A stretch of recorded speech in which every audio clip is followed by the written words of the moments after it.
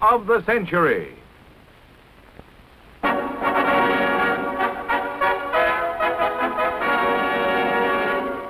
From her first public appearances in 1927, fate and duty have patterned the life of Britain's Elizabeth. At five, Elizabeth made her society debut at the wedding of her cousin, Lady May Cambridge. At seven, she attended the Aldershot Tattoo in the company of her mother, then Duchess of York. King George died in 1936. Then, after King Edward abdicated his new throne, the Yorks became king and queen. Elizabeth, at 10, was now heir presumptive.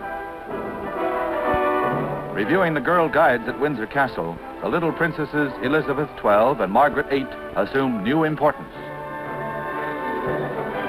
In 1940, Hitler's assault against England began.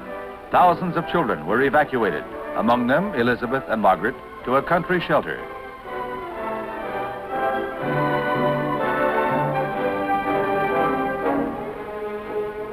But, war or not, Elizabeth had her duties. She celebrated her 16th birthday with a review of the famed Grenadier Guards.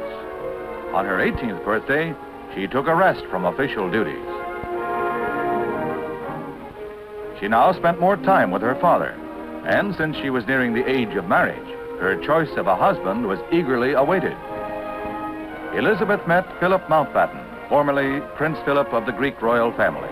Though born in Greece, Philip had been raised in England and was a British citizen.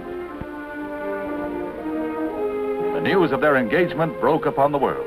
It was nice to have a man around the house, even the royal house.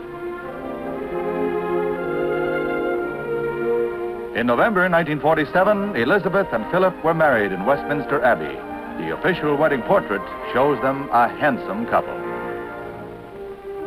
At Broadlands, the estate of Philip's uncle, the Earl of Mountbatten, the young honeymooners forgot official duties.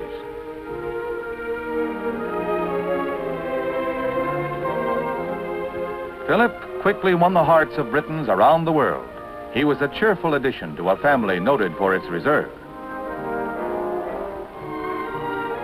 In 1949, Elizabeth proudly presented Prince Charles to the world. He was the first baby born to a British heir presumptive in a thousand years. This tiny, sneezing prince stands next in line of succession after his mother. Philip, like Queen Victoria's Albert, is prince consort. Two years after, Princess Anne was born. Later, Queen Elizabeth would give birth to another son, Andrew. Monarchies pass, but Britain's royal family remains a symbol of permanence among the changing milestones of the century.